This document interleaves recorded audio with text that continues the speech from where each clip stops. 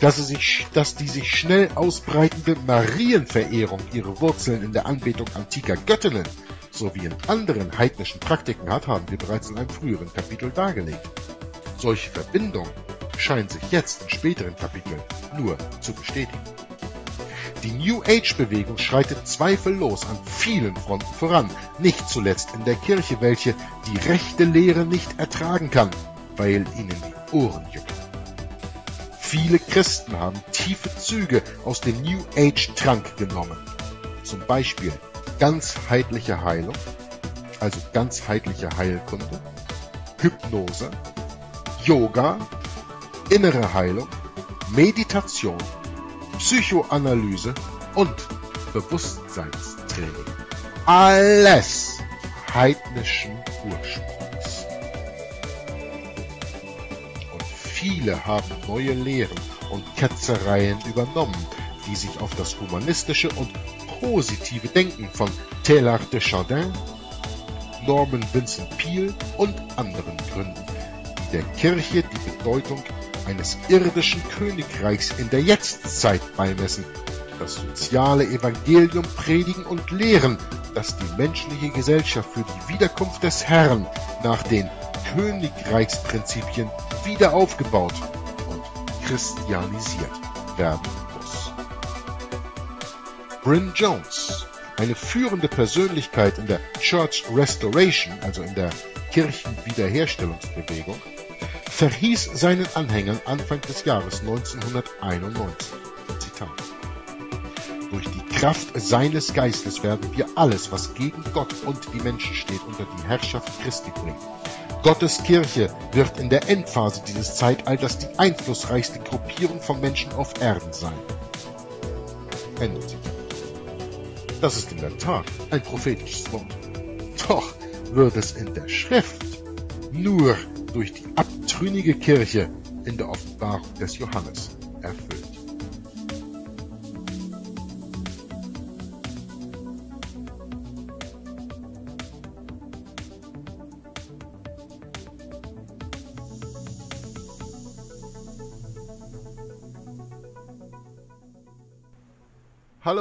Moin moin, herzlich willkommen zu einem neuen Video von Joggler66, Stunde der Wahrheit.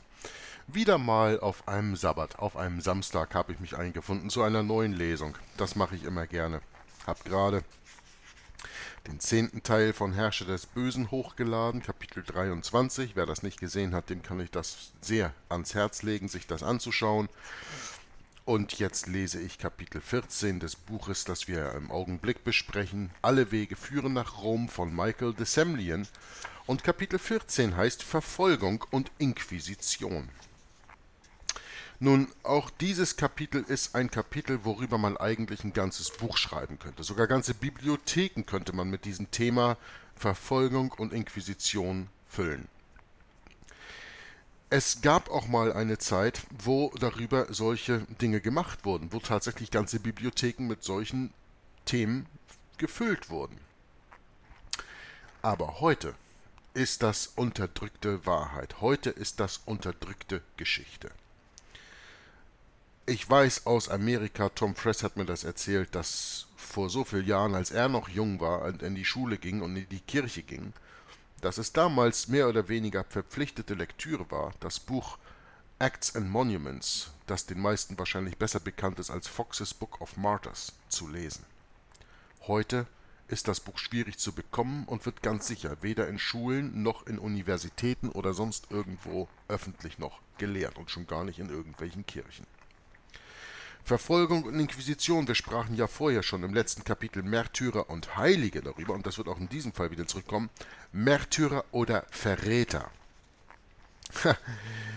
Die römisch-katholische Kirche nimmt im Grunde, und das wird immer deutlicher, das war im letzten Kapitel schon deutlich geworden, das wird in diesem Kapitel noch deutlicher, die römisch-katholische Kirche nimmt Verräter an Jesus Christus an dem wirklichen einzigen Jesus Christus aus der Bibel, aus dem echten einzigen Sohn Gottes, und macht sie zu Märtyrern in ihrer satanischen Kirche. Und das wird auch nochmal ganz deutlich, sobald wir hier in dieses Buch ein wenig mehr hineingehen.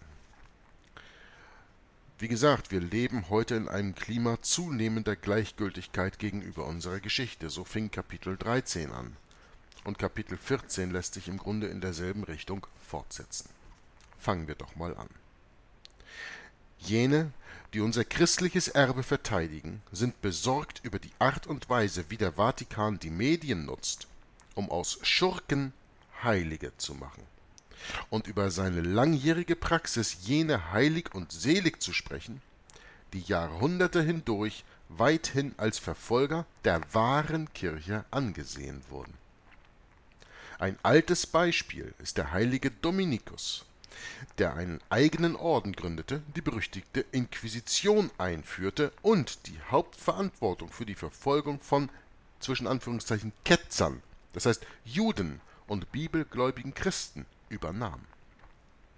Ein weiterer Mann in dieser Tradition ist Ignatius von Loyola, dessen Gesellschaft Jesu eine insgesamt raffiniertere Organisation vom Vatikan gebraucht wurde, um dieselbe Rolle nach der Reformation zu übernehmen. Ja, der einzige Grund, weshalb die Gesellschaft Jesu, La Compañía de Jesús, überhaupt gegründet wurde, war, um die Konterreformation, die Gegenreformation einzuleiten und eben dafür zu sorgen, dass die Reformation wieder nichtig gemacht wird und alles, was die Reformation hervorgebracht hat, nichtig gemacht wird, dass der Papst wieder über die Könige der Welt regieren kann, wie er das im dunklen Zeitalter tat. Und da geht es ja auch im Augenblick ganz deutlich hin. Nun, weil ich das hier heute aufnehme, will ich die Bemerkung mal eben fallen lassen. Ich bin gerade eine Dokumentation am Schauen vom YouTube-Kanal äh, John Wycliffe, Babylon Has Fallen, Babylon ist gefallen. Ist gerade heute veröffentlicht worden, am 15. Oktober. Am 14. Oktober ist es veröffentlicht worden, aber ich gucke es heute am 15., an dem Samstag, an dem Sabbat, wie gesagt. Und ähm, in den ersten drei Minuten habe ich da bereits einen Kommentar drüber geschrieben. Das ist vielleicht ganz interessant. Und ich zeichne das hier auf, dass man das für die Zukunft eben mal festhält, dass ich das heute gleich gesagt habe. Beweis. ähm, in der Dokumentation kommt am Anfang ein sicher Alan Greenspan vor, den die meisten ja wohl kennen, als früheren Vorsitzender der Federal Reserve Bank in Amerika. Und wir wissen ja, von wem die kontrolliert wird, und das sind ja eben nicht die Juden. Und ähm, die sprachen da über, äh, wie, äh, was in Venezuela passiert war und wie das Land Venezuela damals, äh, das ist ja jetzt schon einige Jahre her, dass Alan Greenspan da Vorsitzender war, wie Venezuela im Grunde kaputt gemacht wurde. Und da dachte ich, sind das vielleicht, ist das vielleicht ein prophetisches, äh, eine prophetische Aussage hierüber? Weil seit gestern, seit dem 14. Oktober, hat die Gesellschaft Jesu einen neuen General gewählt, einen neuen schwarzen Papst, den 31. in ihrer Geschichte. Interessant, dass wir also nach dem 33. zugehen. Vielleicht ist das ja ihr Ziel, insgesamt 33 schwarze Päpste zu haben. Weiß ich ja nicht. Aber der Punkt, den ich machen will, ist, dieser neue schwarze Papst kommt aus Venezuela. Zufall? Weiß ich nicht. Aber doch eine interessante Sache um mal drüber nachzudenken in der Zukunft. Ne? Also damit habe ich den Denkanstoß jetzt schon mal gegeben. Wie gesagt, die Gesellschaft Jesu wurde hauptsächlich oder einiger eigentlich nur dafür gegründet, um die Reformation wieder zunichte zu machen, um sie zu vernichten. Der jetzige Papst zum Schreiben des Buches, also Papst Johannes Paul II., schlug die Heiligsprechung Königin Isabellas von Spanien für das Jahr 1992 vor, rechtzeitig zum 500. Jahrestag der Reise des Kolumbus zur neuen Welt. Nun, Königin Isabella entsandte zwar den großen Entdecker, doch rief sie auch die spanische Inquisition unter Torquemada ins Leben und vertrieb 200.000 Juden wie auch zahlreiche Moslems und Protestanten, bibelgläubige Christen aus Spanien. Dessen ungeachtet wurde Isabella vom Vatikan als Zitat eine große Christin hingestellt. Jüdische und moslemische Proteste jedoch zwangen den Vatikan schließlich, das Vorhaben zu überdenken und Isabella 1992 nicht heilig zu sprechen. Im September 1987 bestand der Plan, Vater Junipero Serra, den Gründer des kalifornischen Missionssystems im 18. Jahrhundert und ein aktives Mitglied der spanischen Inquisition, während des Papstbesuches in Carmel, Kalifornien, selig zu sprechen. Vor diesem Besuch hatte es bereits zwei Jahre lang eine Junipero Serra Gedenkbriefmarke gegeben, die von den Amerikanern für unzählige Auslandsbriefe benutzt wurde. Das war nur eine der Werbemaßnahmen zur Vorbereitung der öffentlichen Meinung. Und über diese Gedenkbriefmarke muss ich eben noch mal eine Fußnote euch vorlesen, die der Autor hier einfügt.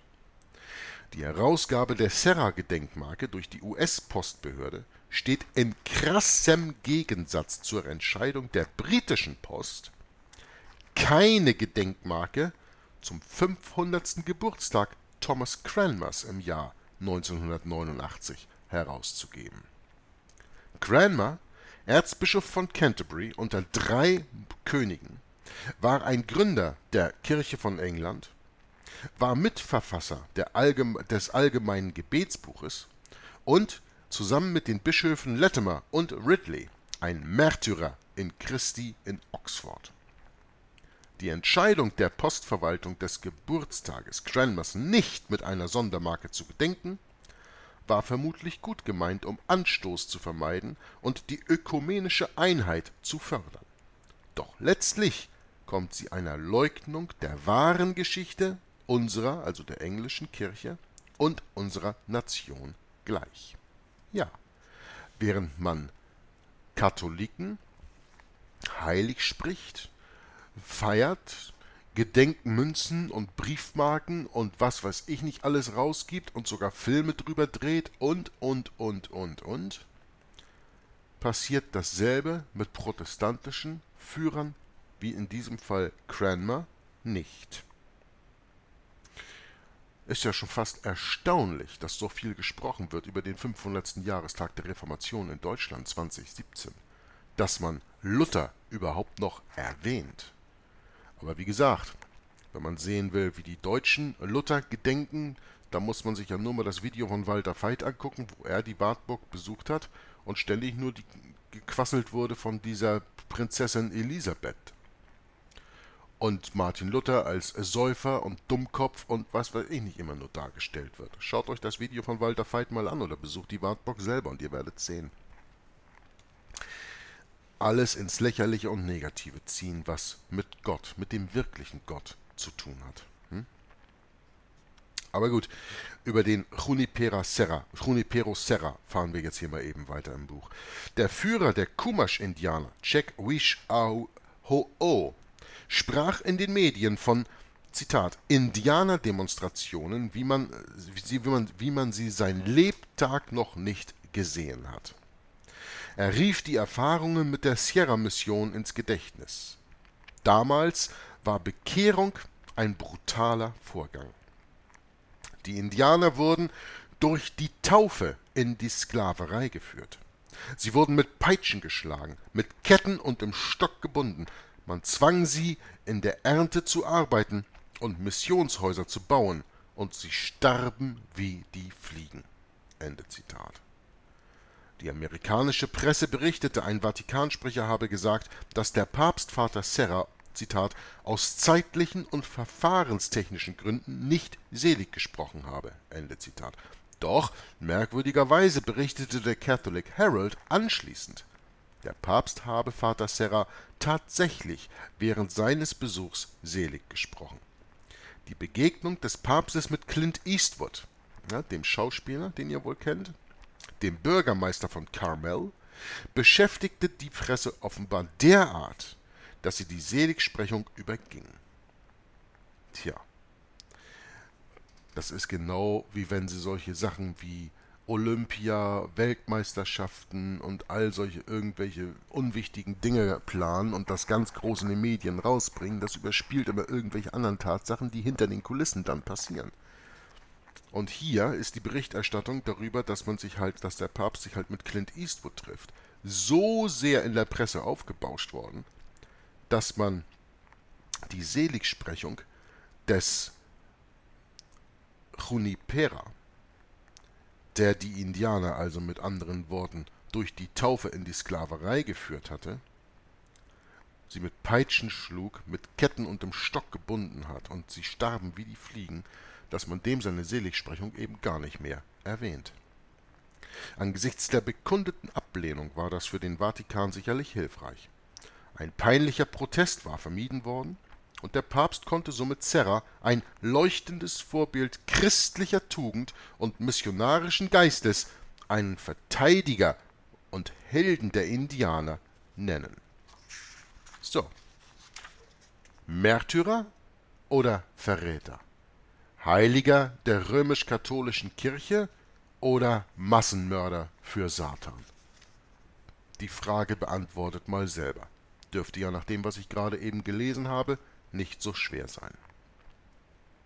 Im Dezember 1989 erhob Antichrist Papst Johannes Paul II. die erste in Kanada geborene Heilige, Marie Marguerite Diouville, Zitat, zur Ehre der Altäre und pries die heldenhafte Nächstenliebe ihrer Arbeit unter den Armen Montreals.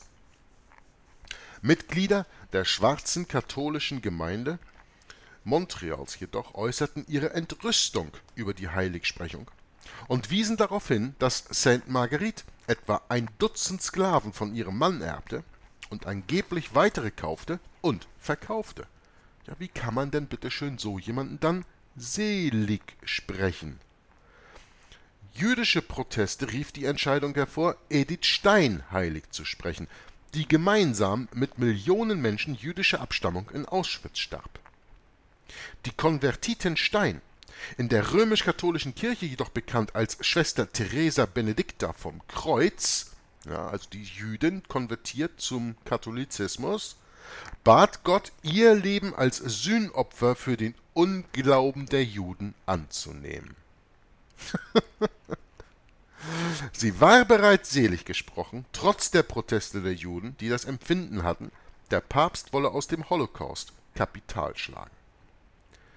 Der andere katholische Märtyrer von Auschwitz, Vater Maximilian Kolbe, von dem es heißt, er habe sein Leben gegeben, um einen Vater von drei Kindern zu retten, hatte nach Angaben des Observer-Korrespondenten Neil Asherson, Zitat, vor dem Krieg ein schreckliches antisemitisches Tageblatt, Tagesblatt herausgegeben. Ende Zitat. Der nächste Abschnitt in diesem Kapitel 14 des Buches Alle Wege führen nach Rom Verfolgung und Inquisition heißt ein weiteres römisches Reich. Ruft euch immer wieder ins Gedächtnis. Sprechen wir über Märtyrer oder Verräter? Und Verräter an was? An Gott natürlich. Ein weiteres römisches Reich. Die Inquisition angeführt von den Dominikanern und den Jesuiten, und das wisst ihr natürlich, wenn ihr meine Buchlesung von Herrscher des Bösen, Rulers of Evil, verfolgt habt. 1540 wurden die Jesuiten gegründet aufgrund der päpstlichen Bulle Regiminis Militantis Ecclesiae von Papst Paul III. Und 1542 haben die Jesuiten die Inquisition von den Dominikanern übernommen. Also angeführt wurde die Inquisition und eingeführt wurde sie von den Dominikanern, unter anderem in Spanien ja von Torquemada, von dem wir gerade sprachen.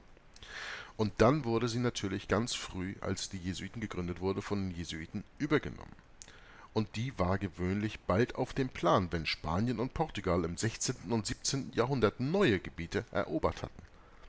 Ja, weil wenn Spanien und Portugal neue Gebiete erobern, dann machen sie das nur im Namen des Papstes. Und sie geben ihm das Land, das sie so gesagt erobern, das sie so gesagt entdecken. Und genauso war es mit Christopher Columbus. Da wurde auch das Land, das er so gesagt entdeckt hat, dem Papst gegeben. Das wurde dem Papst geweiht. Es wurde Maria geweiht später aber es wurde dem Papst übergeben.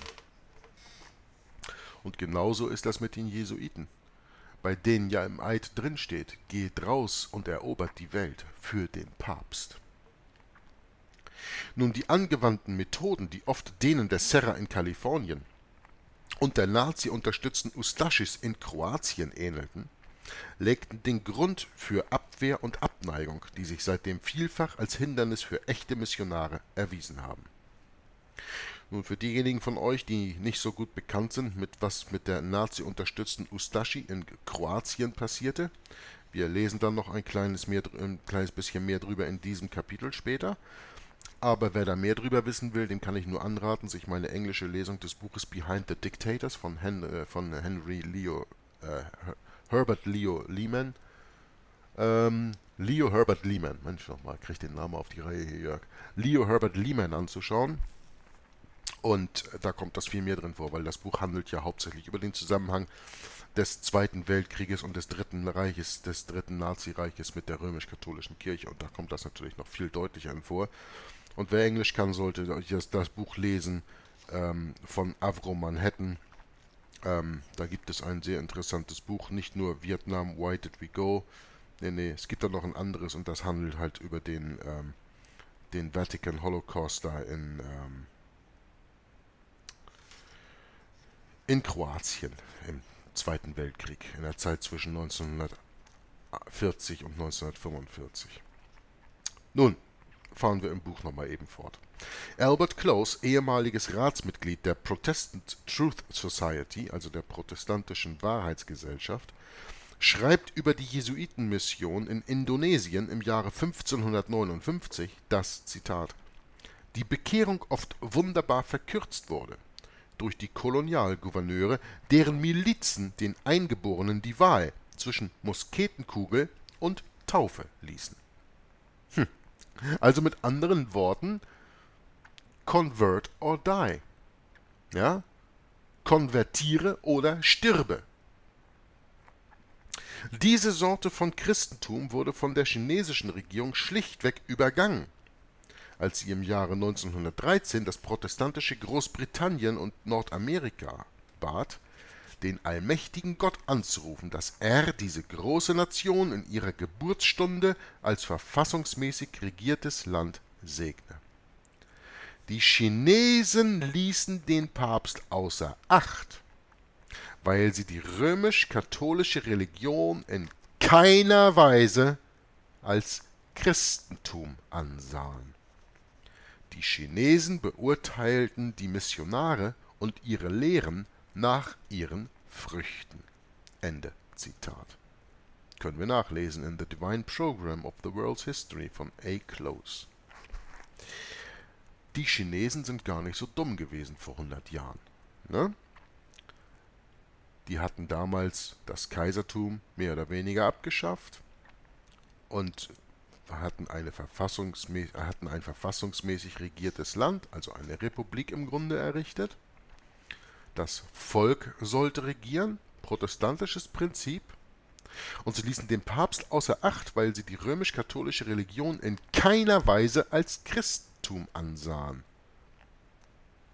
Die haben begriffen, dass Rom sich nur mit dem Christentum den Mantel umgehängt hat, um seine politischen Ambitionen zu verstecken. Das, was ich schon seit immer sage und was auch in Buch nach Buch nach Buch, das ich lese und Dokumenten, Dokument, Dokumenten nach dem, das ich lese, immer wieder bewiesen wird. Und wie in der Bibel drin steht, an ihren Taten werdet ihr sie erkennen, an ihren Taten sollt ihr sie messen. Das haben die Chinesen getan. Nun sind wir heute, 2016, kleine 100 Jahre weiter in der Geschichte. Und heute werden die Chinesen genauso katholisch regiert wie die Vereinigten Staaten von Amerika und wie die Europäische Union und wie der fast ganze komplette Rest der Welt. Es hat 100 Jahre gedauert, um den Chinesen den, ich nenne es mal, wie die römisch-katholische Kirche es wohl bezeichnen würde, Blödsinn auszutreiben, zu denken, dass römischer Katholizismus kein Christentum ist.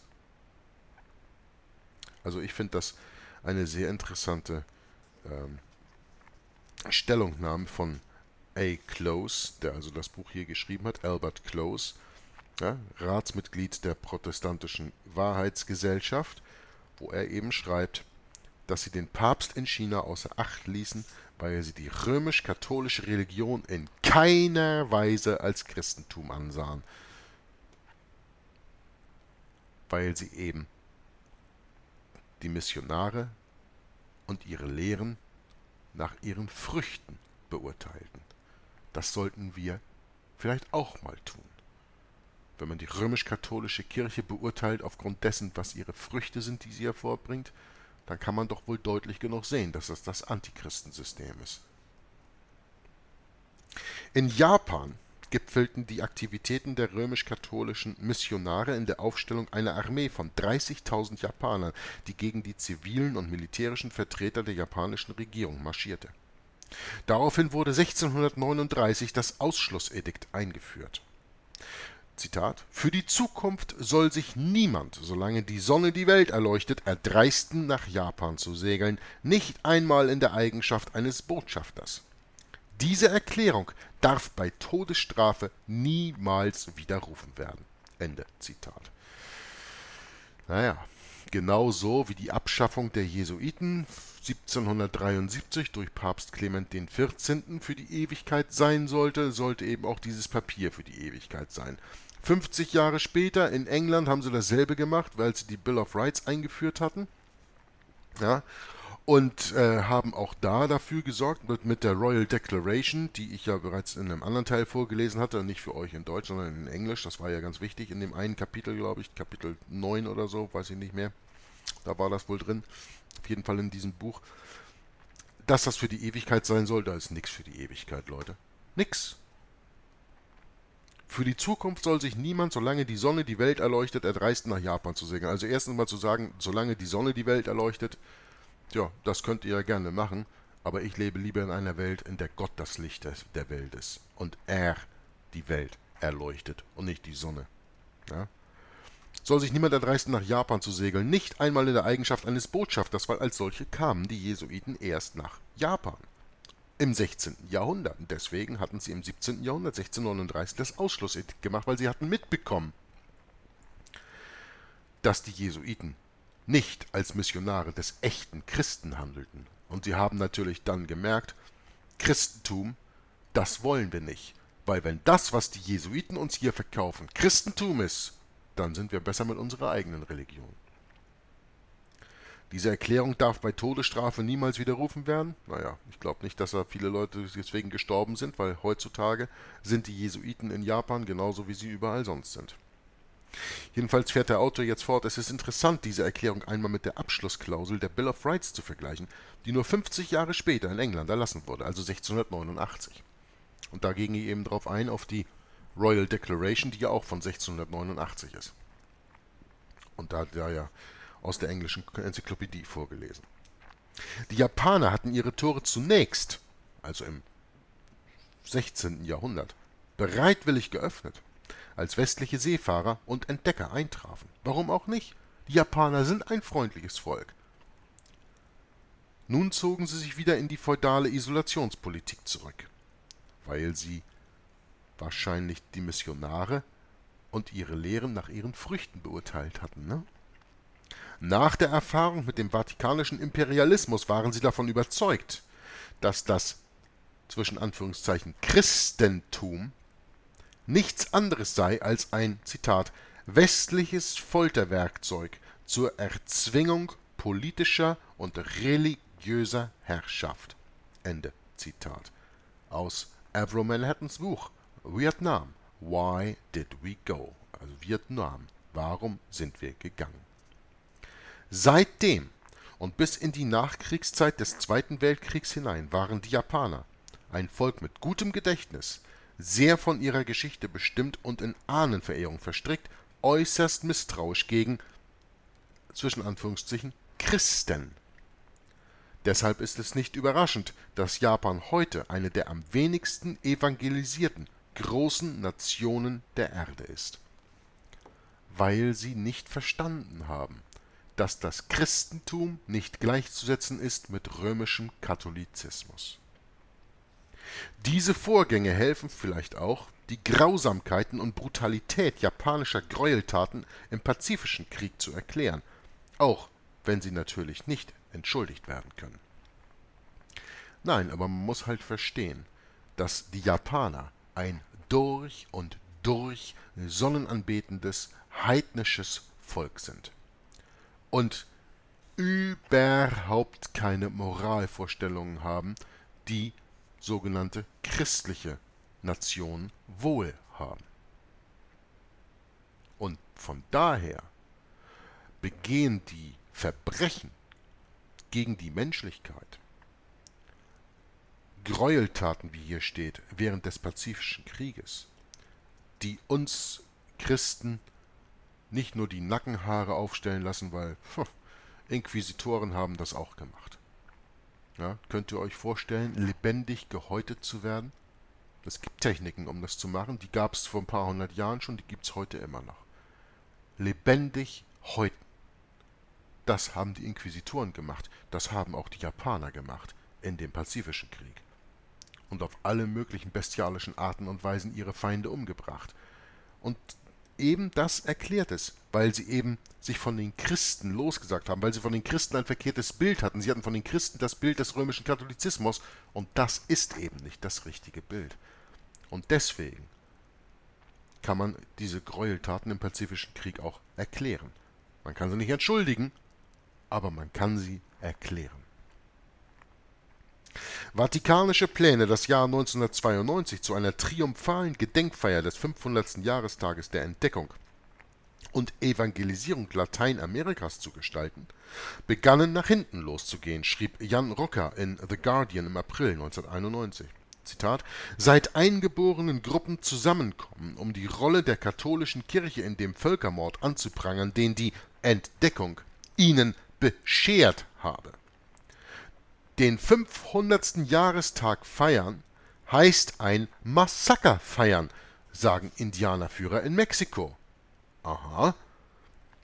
In Ecuador bezeichnen sie das Geschehen als eine Invasion, die den Völkermord mit sich brachte, durch die Übertragung europäischer Krankheiten, durch Ausbeutung und durch die Trennung von Eltern und Kindern. In Peru ging der südamerikanische Eingeborenenrat noch weiter. Hört gut zu, als er feststellte, Zitat, wären Beobachter internationalen Menschenrechtsorganisationen während der Eroberung zugegen gewesen, dann wären der spanische Staat und die römisch-katholische Kirche weltweit für ihre Gräueltaten an dem indianischen Volk verurteilt worden der an den Indianern verübte Völkermord lässt Hitlers Völkermord an den Juden gering erscheinen. Ende Zitat. Publiziert in The Guardian, internationale Nachrichten, 20. April 1991. So, könnt ihr euch vorstellen, dass in einer deutschen Zeitung jemals stehen würde, dass der an den Indianern in Südamerika verübte Völkermord Hitlers Völkermord an den Juden gering erscheinen aussehen lassen würde? Könnt ihr euch das vorstellen? Wo wir doch immer nur über den Holocaust unsere Schuld eingebläut bekommen in Europa, hauptsächlich in Deutschland? Ich glaube nicht, dass man so etwas in Deutschland schreiben könnte und wenn man es veröffentlicht hat, dass es zwei Tage später noch zu finden wäre das ist dann doch mal irgendwo eine gewisse Pressefreiheit, die wir uns in Deutschland gar nicht vorstellen können. Dass in The Guardian steht, der an den Indianern verübte Völkermord lässt Hitlers Völkermord an den Juden gering erscheinen. Bravo, The Guardian, um das mal rauszubringen. Der nächste Abschnitt dieses Kapitels wird auch noch interessant und heißt Inquisition im 20. Jahrhundert Kroatien. Und naja, da gehen wir halt über die Dinge ein, die ich ja schon kurz vorher angekündigt hatte. Ustashi, Kroatien, Serbien.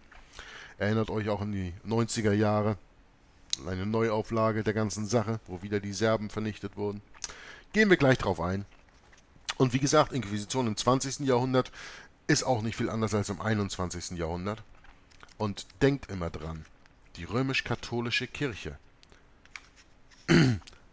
produziert Märtyrer oder Verräter.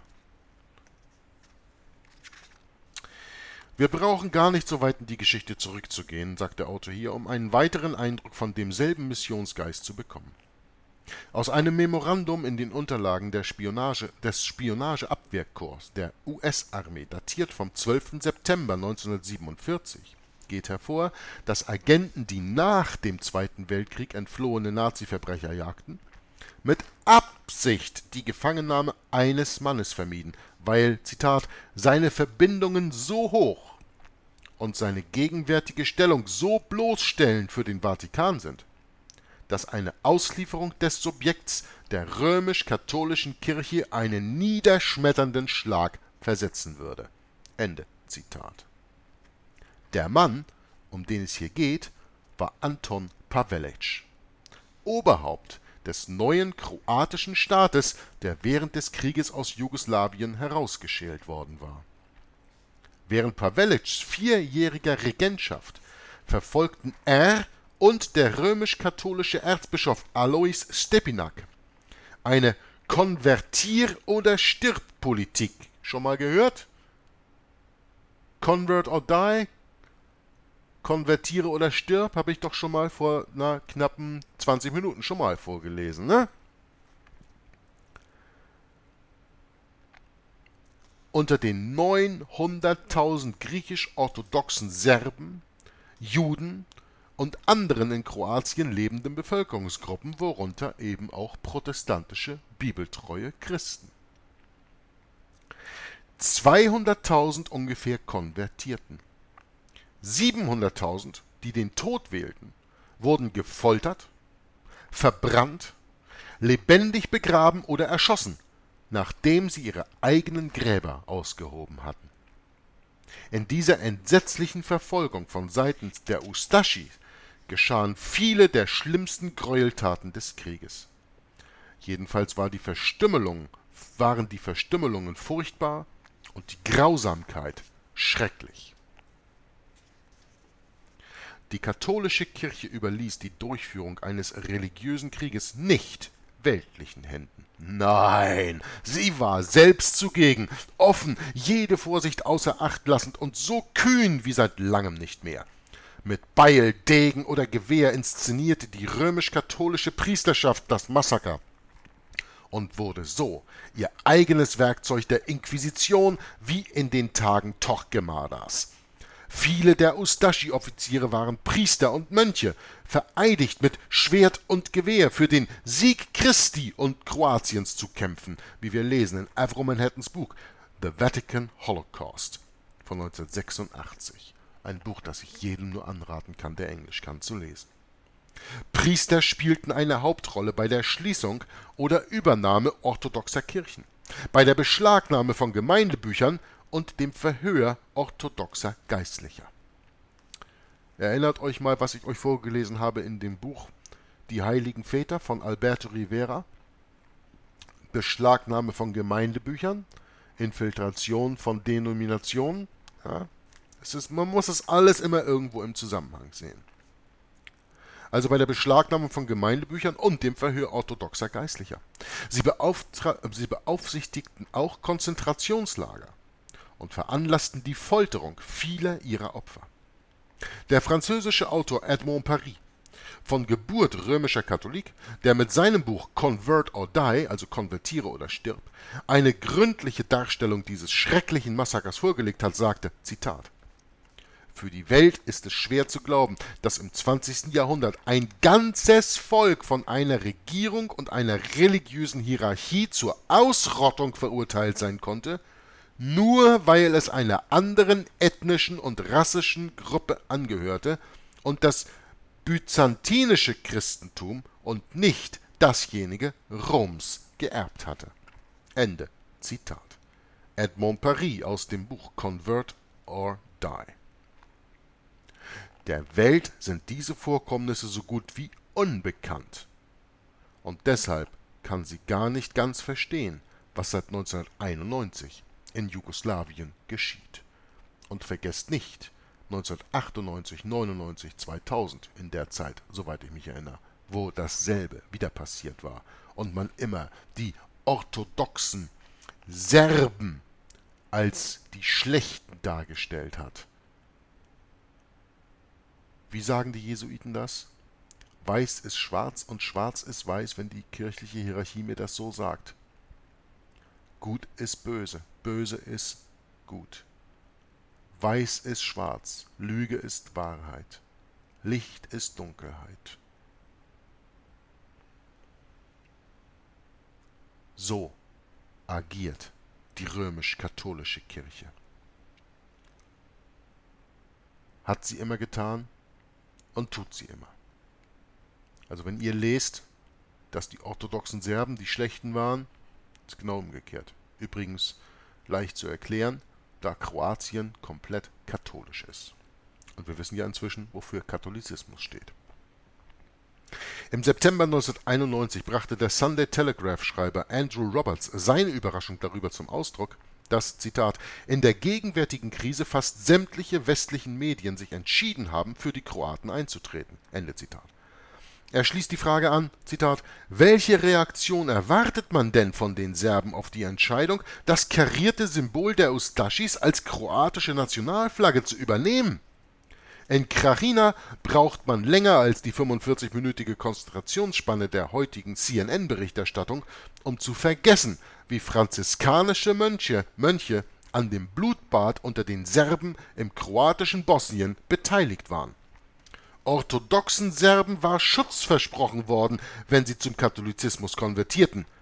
Doch nach Betreten der Kirchen wurden sie unter den Augen der Priester getötet.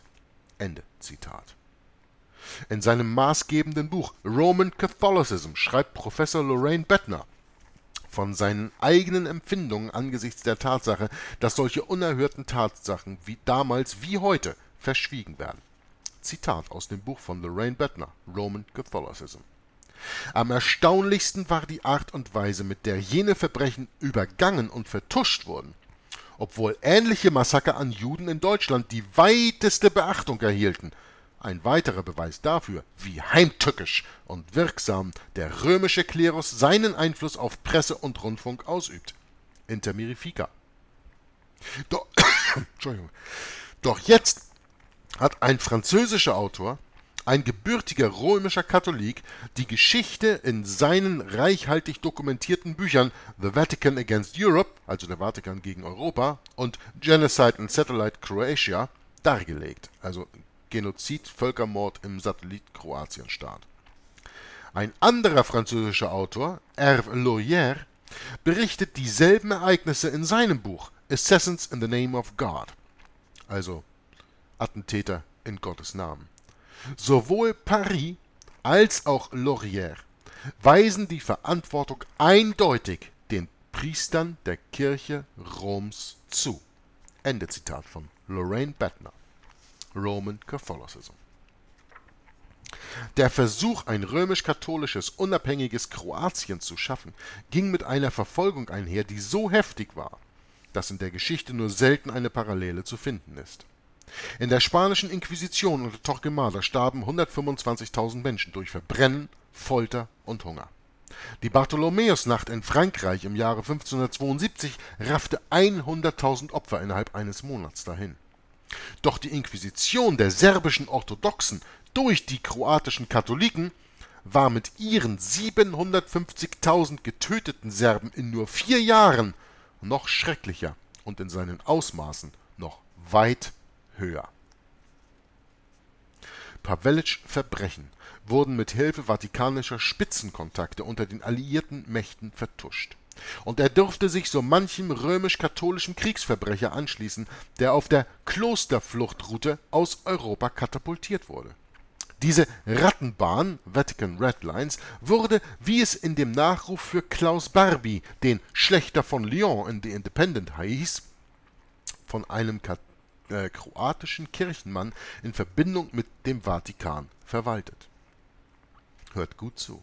Pawelek kehrte 1959 aus Südamerika zurück, um sich in einem deutschen Krankenhaus in Madrid behandeln zu lassen. Monate später starb er, und an seinem Sterbetag wurde ihm der persönliche Segen von Papst Johannes dem 23. erteilt.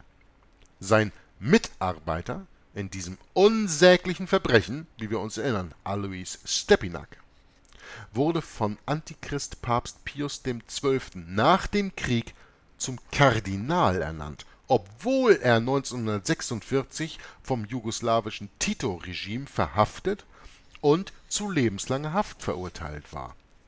Stepinak hatte Pius XII. 1942 zweimal in Rom besucht, um ihm von der Bekehrung von 244.000 Serben zum römischen Katholizismus zu berichten. Ja, Bekehrung. Ja, konvertiere oder stirb. Bekehre dich oder stirb. Sein Tod im Jahr 1960 erweckte ein kraftvoll orchestriertes Konzert von Trauer- und Lobesgesängen in allen katholischen Ländern.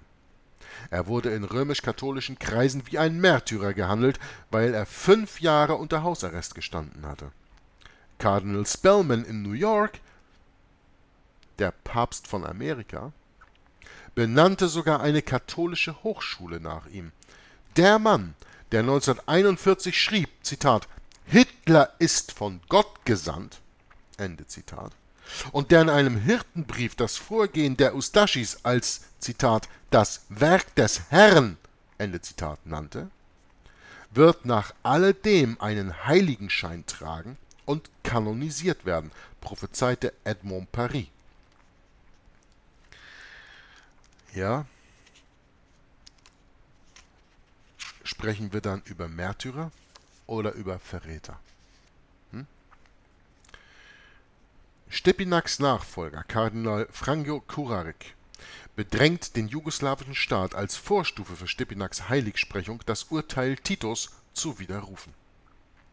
Es besteht große Sorge, dass der kroatische Nationalismus wiederum genährt von demselben religiösen Geist erneut aufbricht, wenn auch die Serben dies durch, wie sie es sehen, militärische Präventivmaßnahmen zu verhindern suchen.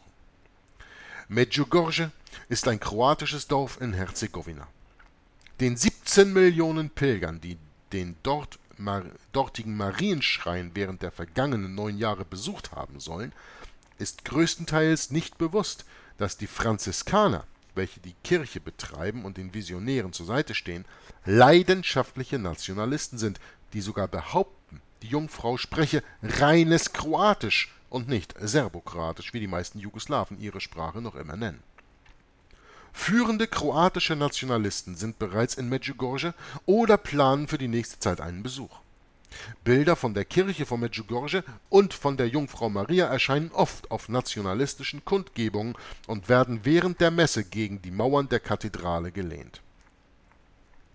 Der Platz vor der Kathedrale in Zagreb, also der Hauptstadt Kroatiens, soll nach Kardinal Alois Stepinak benannt werden, 40 Jahre nachdem er für seine, wie es jetzt nur noch heißt, angeblichen Verbrechen inhaftiert wurde.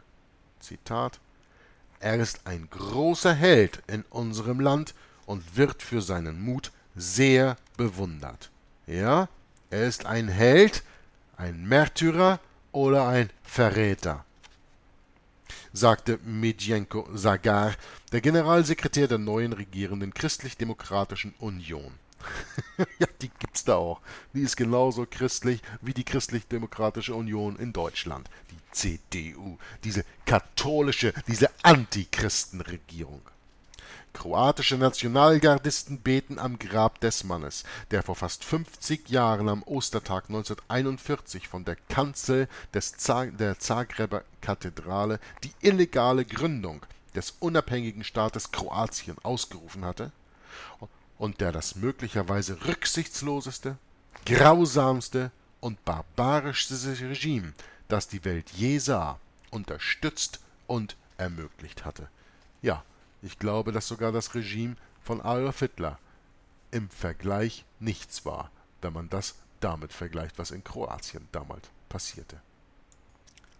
Der nächste Abschnitt in dem Kapitel Nummer 14 aus dem Buch alle Wege führen nach Rom, Verfolgung und Inquisition heißt die moderne Inquisition. Die Rehabilitierung der althergebrachten Inquisition ist für den Vatikan so etwas wie ein Glaubensartikel. Denn die Inquisition ist quicklebendig und im Rahmen der durch die demokratischen Freiheiten auferlegten Grenzen so mächtig wie eh und je. Der römisch-katholische Autor, Theologe und ehemalige Priester Peter de Rosa beschreibt in seinem Buch Vicars of Christ, The Dark Side of the Papacy, also Stellvertreter Christi, die dunkle Seite des Papsttums aus 1988. Darin schreibt er über die moderne Inquisition, Zitat, in Casa Santa, Santa Claus? in Casa Santa hat das Haus des Papstes unter den Einheimischen den Namen Palast der Inquisition. In den letzten Jahren ist die Heilige Katholische und Apostolische Inquisition wegen der schlechten Presse, ähnlich der sowjetischen Geheimpolizei, mehrfach umbenannt worden 1908 wurde aus dieser ältesten heiligen Versammlung Roms das Heilige Amt. 1967 änderte sich der Name in Versammlung für die Lehre und den Glauben.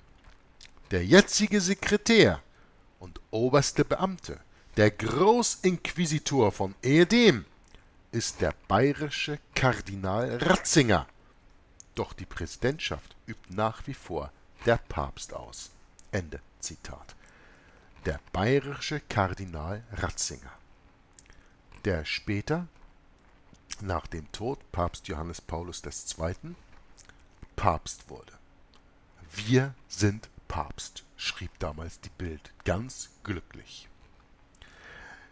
Dieser Kardinal Ratzinger, das nehme ich mal eben vorweg, war 25 Jahre oberster, also Sekretär und oberster Beamter, der Großinquisitor der Versammlung für die Lehre und den Glauben, also der Inquisition, wie sie heute heißt.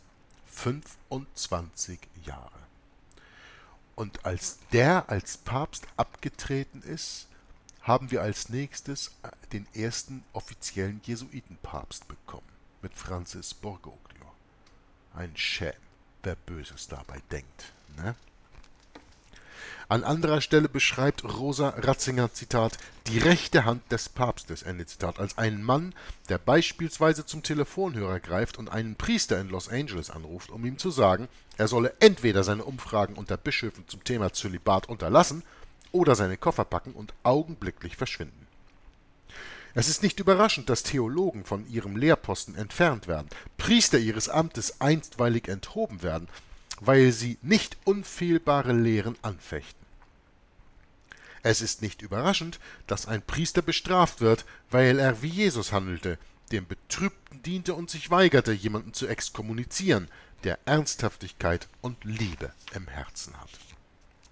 Derselbe Kardinal Ratzinger hat auch zu ARCIC, also der anglikanischen römisch-katholischen Interglaubens Kongregation, der Vereinigung und der ökumenischen Entwicklung Stellung bezogen, indem er in der Heilslehre und im Kirchenverständnis größere Zugeständnisse an Rom forderte.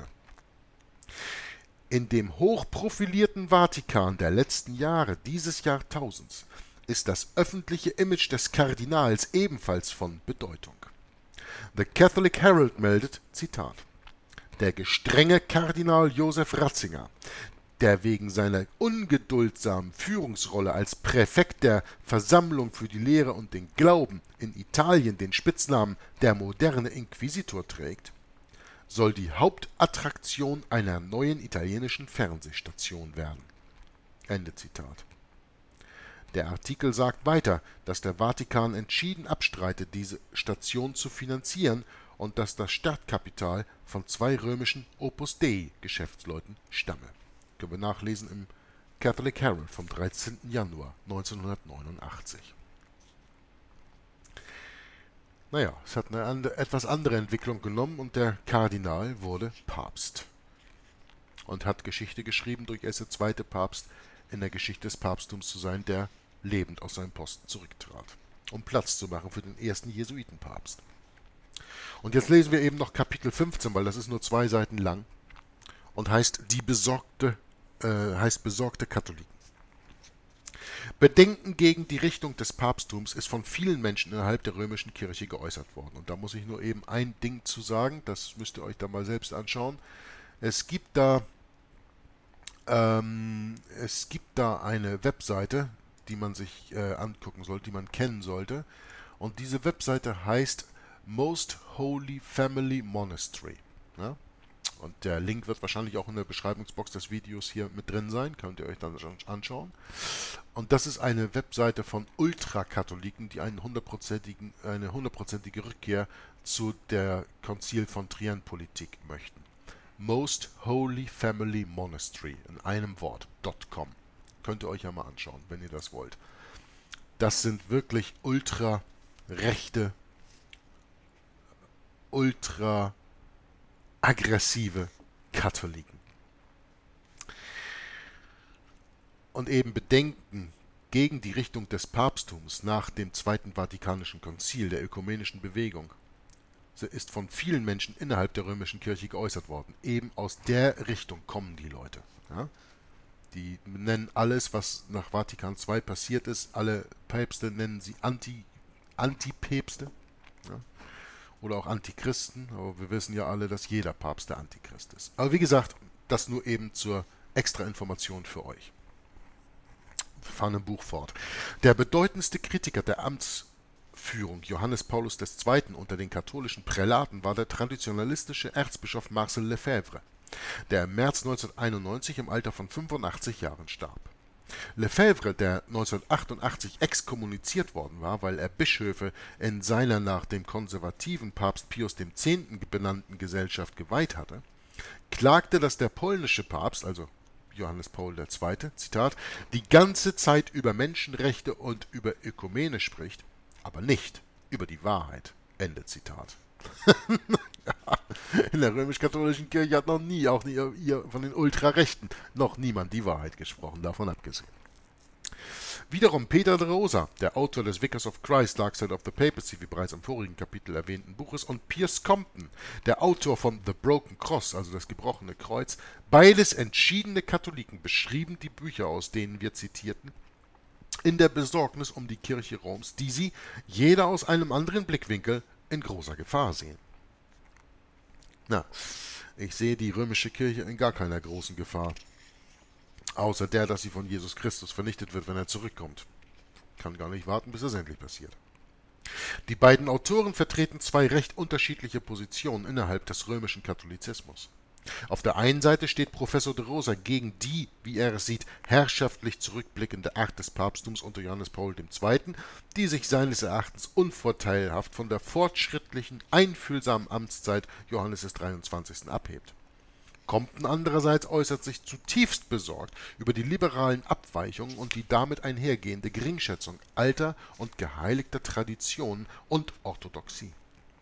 Diese Sicht, die sehr stark von dem ultrakonservativen Flügel der römischen Kirche um Erzbischof Lefebvre vertreten wird, unterstreicht die Tatsache, dass der ökumenische Aufbruch von Vatikanum II keineswegs alle Katholiken auf seiner Seite hat. Dies gilt für Anglo-Katholiken sicherlich ebenso, und die Formierung der hochkirchlichen Gruppe Church in Danger, also Kirche in Gefahr, ist Ausdruck ihrer Sorge, mit dem kleinsten gemeinsamen Nenner fortgeschwemmt zu werden. Die römische Kirche hat die erstaunliche Fähigkeit, gleichzeitig in beide Richtungen zu blicken und dabei den Schein von Festigkeit und Klarheit zu wahren. Den Schein zu wahren, so schreibt der Autor richtig, ja. Johannes Paul II. zeigt diese Fähigkeit ebenso wie alle seine Vorgänger. Obwohl weiterhin als konservativ und orthodox angesehen, liefert dieser Papst nach Ansicht Dr. Malachi Martins, der eng mit ihm zusammenarbeitete, Zitat, dennoch frommen Katholiken Anlass, die Rechtmäßigkeit eines Papstes zu hinterfragen, der die katholische Kirche bewusst in Bestechlichkeit, Freimaurerei, satanische Praktiken und zügellosen Ungehorsam sowohl von Priester als auch von Laien hineinfallen lässt. Ende Zitat aus dem Buch The Keys of This Blood von Malachi Martin. Dr. Martin, der trotz dieser Beobachtung im Allgemeinen dem Papst wohlwollend gegenüberzustehen scheint und offensichtlich an seine geistgewirkte Sendung glaubt, sagt, dass Zucht und päpstliches Ansehen in der Kirche schweren Schaden genommen haben und dass der Papst dies zugelassen hat, bis das Zeichen vom Himmel erscheinen wird, das unsere liebe Frau von Fatima verheißen hat das Johannes Pauls Übernahme der moralischen und geistlichen Weltherrschaft verkünden wird. Das Zeichen am Himmel, das nach der festen Überzeugung des Papstes bald sichtbar werden wird, ist begleitet vom zweiten Kommen Mariens, das bei der ersten Erscheinung von Fatima angekündigt wurde. Es gibt eindeutig Disziplinprobleme in der katholischen Kirche die sich sowohl im konservativen wie im liberalen Lager in beträchtlichem Widerstand gegen die Grundsatzentscheidungen des Papstes äußert, besonders unter den führenden Denkern der Kirche. Wie bei den Finanzen mag man zuweilen den Eindruck erhalten, alles ginge drunter und drüber. Doch die große Mehrheit der römischen Katholiken steht mit unerschütterlicher Treue zum Papsttum. Die Zucht dieser Institution lässt sich daran ablesen, dass die Öffentlichkeit durchweg zumindest, so fest bleibt wie eh und je. Die eindeutigen Positionen, die der jetzige Papst anscheinend bezogen hat, seine Entschlossenheit gegenüber liberalen Theologen, seine starke moralische Haltung, das alles kommt bei, bei entschiedenen Katholiken gut an und bezeichnenderweise bei vielen Evangelikalen ebenfalls. Evangelikale Wohin? Untertitel des Buches. Ihr akzeptiert das, was der Papst macht, weil er eine bestimmte Entschlossenheit gegenüber liberalen Theologen zeigt, er eine starke moralische Haltung hat. Das ist aber nicht die Moral der Bibel, oder? Und deswegen kommt er bei vielen Evangelikalen ebenfalls gut an. Der anglo-katholische Rundbrief Ecclesia schrieb im Dezember 1990 das Zitat der jetzige Papst viel dazu beiträgt, die Kirche auf bessere Wege zurückzuführen, nachdem der Geist des Zweiten Vatikanischen Konzils ein entsetzliches Durcheinander angerichtet hatte. Ende Zitat. Wie Johannes Paul II. es fertigbringt, sich die Treue ernsthafter Katholiken zu erhalten, während er im Einklang mit den Verlautbarungen der Madonna von Medjugorje andere Religionen in die Arme schließt, dies ist vernunftsmäßig nicht zu erfassen. Und hiermit endet das 15. Kapitel in dem wundervollen Buch Alle Wege führen nach Rom von Michael de Semlien. Habt ihr sicher noch ein paar Dinge, um drüber nachzudenken, nachdem ich das jetzt alles soeben vorgelesen habe. Und wir fahren nächstes Mal fort mit Kapitel 16, Warnende Stimmen. Dazu zähle ich dann meine auch schon mal. Ich danke euch fürs Zuhören und fürs Zuschauen und wünsche allen noch einen schönen Tag. Sicherlich, wenn ihr das auf dem Sabbat schaut, wie ich das auf dem Sabbat aufnehme, einen schönen und geruhsamen Sabbat. Möge Gott euch hüten und beschützen auf all euren Wegen und möge er euch segnen. Jörg von Joggler 66, Stunde der Wahrheit, meldet sich ab. Bis zum nächsten Mal. Tschüss. Ich sehe den großen Abfall. Ich sehe die Verwüstung des Christentums. Ich sehe die rauchenden Ruinen. Ich sehe die Herrschaft von Ungeheuer. Ich sehe jene Vizegötter, jenen Gregor den Siebten, jenen Innozenz den Dritten, jenen Bonifatius den Achten, jenen Alexander den Sechsten, Gregor den Dreizehnten, Pius. Ich sehe ihre lange Folge, ich höre ihre unerträglichen Lästerungen, ich sehe ihren abscheulichen Lebenswandel. Ich sehe, wie sie angebetet werden von verblendeten Generationen, wie sie hohle Segnungen austeilen, wie sie ihren verlogenen Ablasshandel treiben und ein heidnisches Christentum schaffen. Ich sehe ihre livrierten Sklaven, ihre geschorenen Priester, zölibatären Beichtväter, ich sehe den berüchtigten Beichtstuhl, ich sehe die verführten Frauen, die ermordeten Unschuldigen, ich höre die verlogenen Absolutionen, ich höre die Todesseufzer, Ich höre die Schreie der Opfer. Ich höre die Ansprüche, die Flüche, den Donner der Interdikte. Ich sehe die Folterwege. Ich sehe die Verliese, sehe die unmenschliche Inquisition, jene Feuer von Smithfield, jene Gemetzel der Bartholomäusnacht, jene spanische Armada, jene unsäglichen Dragonaden, jene endlose Kette von Kriegen, jene entsetzliche Menge von Massakern. Ich sehe das ganze System und im Namen des Ruins, den es in der Kirche und in der Welt verursacht hat, Namen der Wahrheit, die es verleugnet hat, des Tempels, den es geschändet hat, des Gottes, den es gelästert hat, der Seelen, die es zerstört hat, im Namen der Millionen, die es getäuscht hat, der Millionen, die es dahin geschlachtet, der Millionen, die es verdammt hat.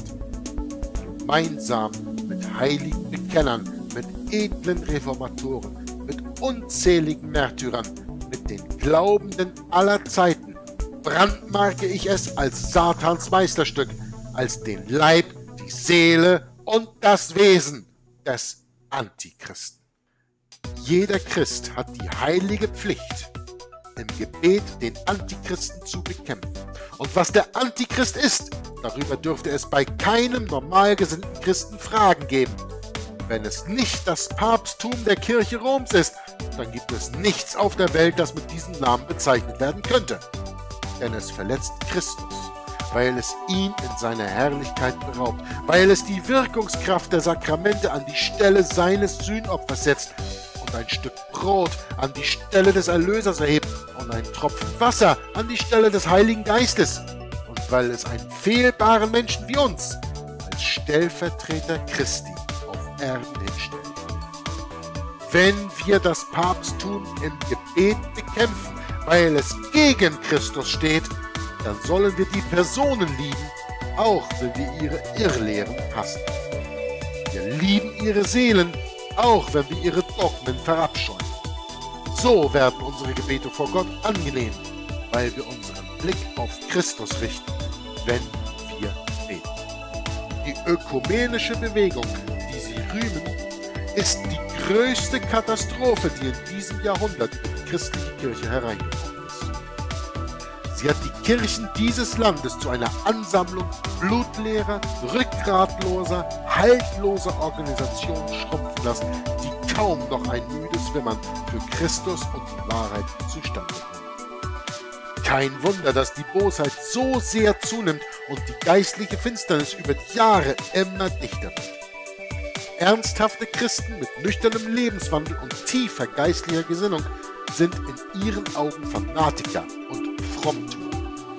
Wenn das stimmt, dann waren erhabene Gottesmänner wie John Knox in Schottland, Johannes Calvin und Martin Luther auf dem Kontinent und Erzbischof Cranmer in England ebenfalls Frommtuer in ihrem Kampf gegen die Irrlehren des Papsttums. Wir rühmen uns ihrer Gemeinschaft.